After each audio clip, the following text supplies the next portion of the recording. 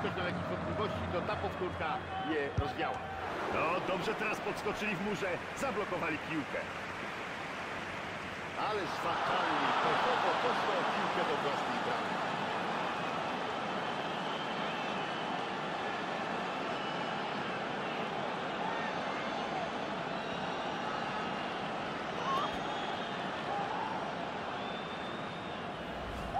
Co zrobić? Niefortunnie posłał piłkę do własnej bramki.